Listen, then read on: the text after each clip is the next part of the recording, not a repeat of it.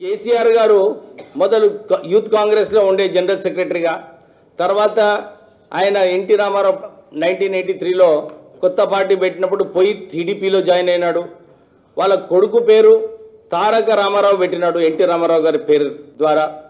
కానీ ఎప్పుడైతే చంద్రబాబు నాయుడు కే ఎన్టీ రామారావుకి వెన్నుపోటు చేసినారో దాంట్లో కీలకమైన పాత్ర ఎవరు వేసినారు?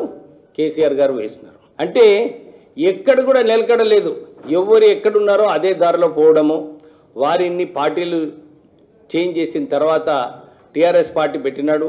అప్పుడు అందరికీ విశ్వాసం ఇప్పించినాడు. అంటే అందరికీ నమ్మించి ద్రోహ ద్రోహం చేసేట్లో కేసీఆర్ గారికి మొట్టమొదటి స్నానం స్థానం దొరుకుతుందంటే అది కేవలం కేసీఆర్ గారికి. వారు ఏదైతే ఈ రాష్ట్రాన్ని అప్పుల రాష్ట్రం చేస్తున్నాడో ఈ రాష్ట్రాన్ని ఒక కమిషన్ రాష్ట్రం చేసినాడో దీన్ని ఎదుర్కొనే అవసరము ఆ ప్రజలకు ఉన్నది కేసీఆర్ గారు మొదలు యూత్ కాంగ్రెస్లో ఉండే జనరల్ సెక్రటరీగా తర్వాత ఆయన ఎన్టీ రామారావు నైన్టీన్ ఎయిటీ త్రీలో కొత్త పార్టీ పెట్టినప్పుడు పోయి టీడీపీలో జాయిన్ అయినాడు. వాళ్ళ కొడుకు పేరు తారక రామారావు పెట్టినాడు ఎన్టీ రామారావు గారి పేరు ద్వారా. కానీ ఎప్పుడైతే చంద్రబాబు నాయుడు కే ఎన్టీ రామారావుకి వెన్నుపోటు చేసినారో దాంట్లో కీలకమైన పాత్ర ఎవరు వేసినారు? కేసీఆర్ గారు వేసినారు. అంటే ఎక్కడ కూడా నిలకడలేదు.